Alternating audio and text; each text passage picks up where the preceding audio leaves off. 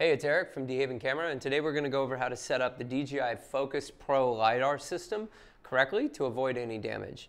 So the first thing you're going to do is put your handle on your camera. So you need to have the handle when using the LiDAR unless you have a DJI transmission.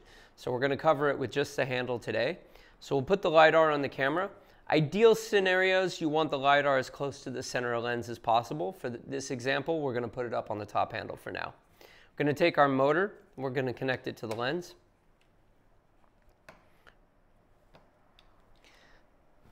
First, we're going to take these two USB-C cables. Now, don't use any USB-C cables. They have to be the DJI ones because these are wired differently.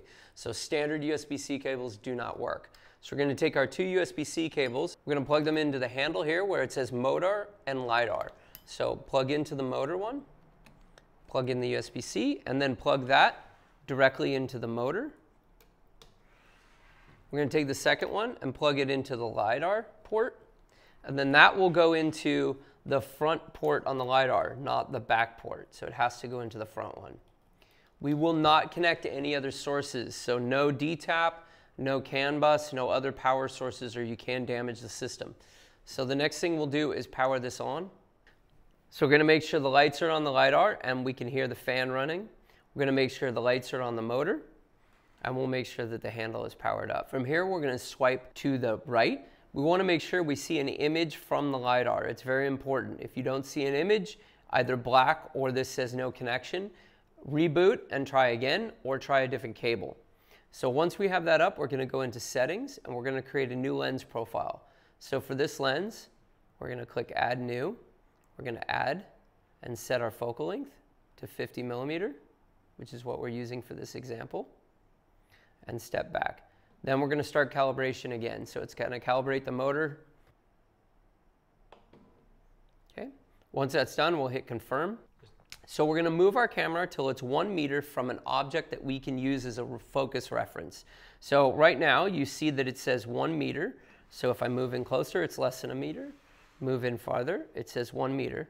So we want to be one meter from an object. Right now it's our wall. We're going to use this thumb wheel to make sure that we can find focus. So we're going to use our focus peaking. So now that we found focus, we're going to tap the screen and we're going to step one is now complete. Now we need to move to four meters. So we're going to move further back. Again, we're going to use the wall as our point of reference. We're going to get to four meters and we're going to find focus with the thumb wheel again. And then once we're in focus, we're going to tap the screen again. So now our autofocus is enabled and we should be able to see the focus change as we move in and turn. So we can see that our lens profile is set.